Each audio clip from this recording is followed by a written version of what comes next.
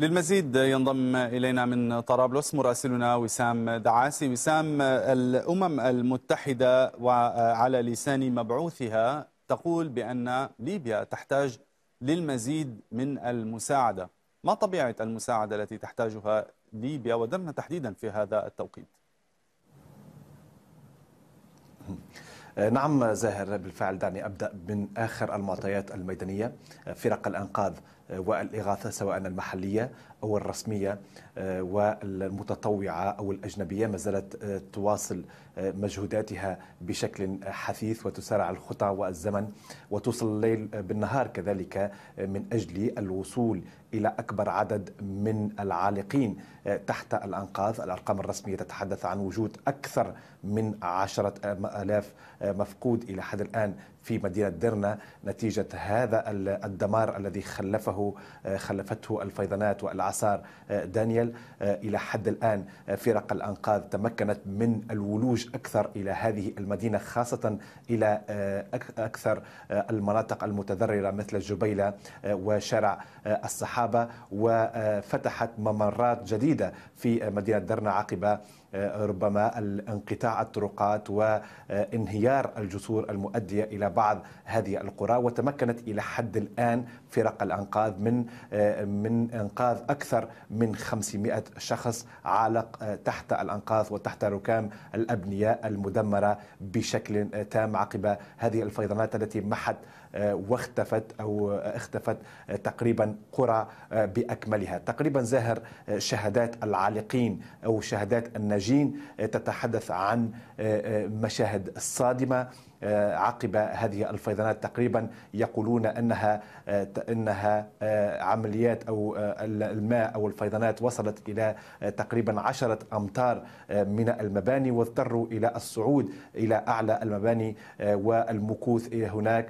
تقريبا أربعة أو خمسة أيام في ظل انقطاع التيار الكهربائي وشبكة الإنترنت إلى حين وصول فرق الانقاذ إليهم. تحدثوا عن يعني الموت الذي جرف وحصد المئات من الأشخاص هنا في مدينة درنا وكيف حصد كذلك عائلات بأكملها وسيارات ومباني بشكل تام. تقريبا مشاهد صادمة تحدث عنها العالقين والناجين من هذه الأنقاذ. إلى حد الآن السيول أو البحر بصدد يعني لفظ العشرات أو المئات من الجثث وفرق الأنقاذ تحاول انتشال هذه الجثث لكن الإشكال الحقيقي الذي الذي تواجهه فرق الأنقاذ هو في الجثث المتحللة التي لفظها البحر وكيفية التعاطي معها خاصة في ظل تحذيرات خارجية وتحذيرات من منظمات إغاثية وإنسانية هنا في طرابلس وفي مدينة درنا وحتى جهات رسمية مثل وزارة الصحة من إمكانية أن تؤدي تلك الجثث المتحللة إلى ظهور وبروز بعض الأمراض والأوبئة. وزارة الصحة كانت قد دعت المواطنين إلى إخلاء المدينة درنا بشكل تام وعدم الاقتراب من فرق الأنقاذ وكذلك دعت إلى توفير تطعيمات ربما بمساعدات دولية ونتحدث عن مساعدات بدأت تصل بشكل مكثف سواء من مختلف المناطق الليبية وكذلك من من الخارج ومن بعض العواصم العربية. ليبيا تطالب يعني الخارج وتطالب الدول الأجنبية بتكثيف المساعدات خاصة الطبية وخاصة فرق الأنقاذ لانتشال الجثث والتعاطي بشكل بشكل يعني احترافي مع هذه الكارثة التي هزت مدينة درنا وإرسال متخصصين في التعاطي مع هذه الجثث المتحللة خشية ما وصف هنا في في طرابلس وفي ليبيا بالكارثة البيئية. تقريبا السلطات في مدينة درنا قامت بإخلاء هذه المدينة بشكل كامل وركزت مستشفيات ميدانية لإنقاذ الجرحى والمتضررين الذين يقدر عددهم بأكثر من 6300 شخص. تقريبا هناك أكثر من 36 ألف نازح من مدينة درنا ومن القرى والمدن المحاذية إليها والتي تضررت بشكل أقل حدة مقارنة بمدينة درنا مثل الشحات مثل البيضة وسوسة وغيرها من المناطق المتضررة الأخرى. إلى حد الآن هناك حالة من الاستنفار القصوى سواء من قبل السلطات المحلية أو من قبل الأهالي في مدينة درنا للمحاولة للوصول إلى أكبر عدد من العالقين في تحت الأنقاض أو سواء لانتشال مزيدا من الجثث. الملقاة تقريبا هناك حديث من شهود عيان وصور تظهرها تباعا وسائل التواصل الاجتماعي التي والفيديوهات التي تنشرها منظمات الإغاثية مثل الهلال الأحمر وجهاز الطوارئ أو جهاز الأنقاذ. تظهر أن الجثث ما زالت منتشرة على الأرض. هناك عمليات دفن في مقابر جماعية وحتى عمليات الدفن تواجه عراقيل وصعوبات باعتبار أن عمليات الدفن لا تتم في مقابر من داخل درنا وإنما تتم في مقابر من خارج المدينة خاصة في المناطق الآمنة ربما وهناك حالة من الصدمة تعيشها ليبيا بشكل عام على خلفية هذا الدمار الشامل الذي هز مدينة درنا هذه المدينة الساحلية الجبلية الواقعة شرقي شرقي شرقي ليبيا.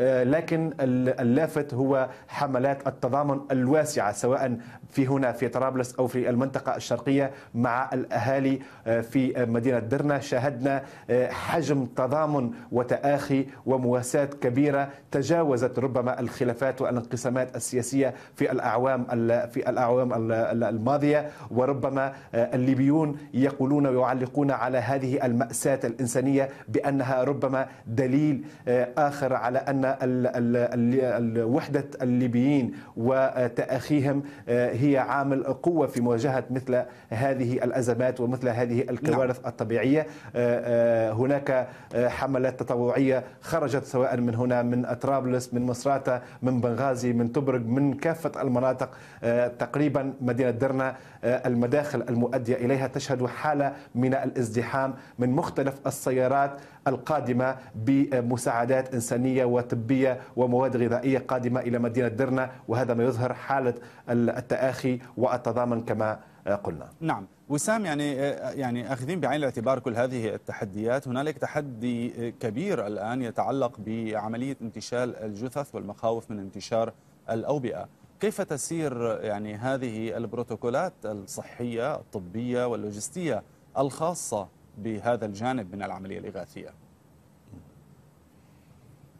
نعم زاهر وزارة الصحة هنا في آه، حكومة الوحدة الوطنية آه، دعت المنظمات الدولية وعدت الدول الخارجية إلى إرسال ربما مهندسين وخبراء متخصصين في كيفية التعامل مع الجثث المتحللة خشية المرور وخشية آه، المرور إلى مخاطر وظهور أوبئة أو أمراض نتيجة تحلل هذه الجثث في الماء بعد أن لفظها البحر وقذفها البحر.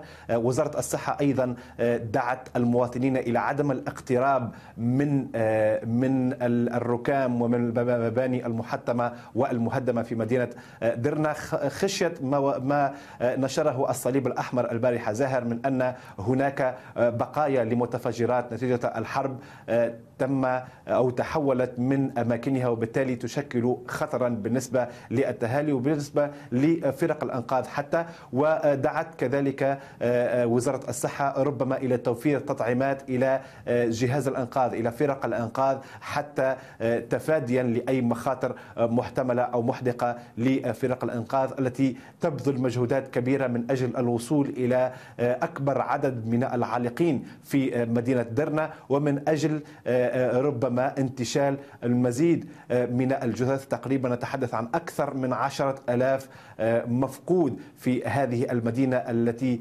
صارت مدينة منكوبة تتحدث آه، جهات رسمية عن أن 25% من هذه المدينة تقريبا ربع سكان هذه المدينة وربع مساحتها هي صارت غير صالحة آه، بعد أن آه، اختفت تماما بعض القرى منها من الخارطة الجغرافية وربما بعض المناطق مثل منطقة الوردية. هذه المنطقة التي تعد تعد أكثر المناطق ضررا وتأثرا بهذه الفيضانات لم تتمكن إلى حد الآن فرق الأنقاذ من الوصول بشكل واضح وبشكل عميق إليها بحكم انقطاع الطرقات وتصدع بعض الجسور وبالتالي عملية الوصول إلى بعض القرى والمناطق يبدو أمرا صعبا في ظل محاولات حثيثة من قبل فرق الأنقاذ وفرق الأنقاذ سواء المحلية أو المتطوعة أو الدولية التي أرسلت من بعض الدول العربية والعواصم الغربية للتكاتف بالتنسيق فيما بعد عبر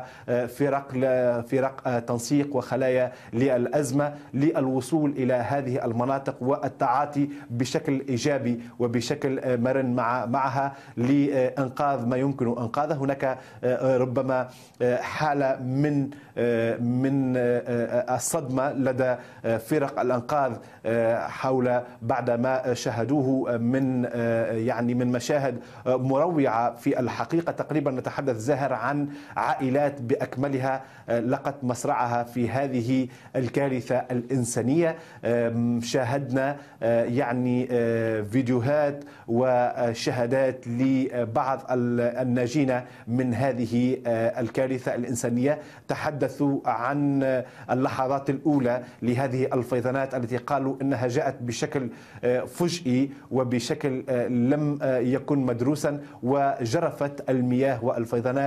أحياء بأكملها ومباني وأحياء سكنية نعم. إلى البحر وقتلت أو راح ضحية تلك الفيضانات تقريبا بعض العائلات هناك ناجون ربما أفراد من عائلات تتكون من أكثر من 15 فردا أمس تم أو تم إنقاذ رضيع في حديث الولادة من هذه من تحت الأنقاض ومن تحت الركام وهو ما أثار صدمة لدى نعم. فرق الأنقاذ بعد مرور تقريبا خمسة أيام على هذه الفيضانات وهو يعد أمر مفاجئ وأمر غير مسبوق بالنسبة إليهم. شكرا جزيلا لك وسام دعاسي مراسلنا من طرابلس.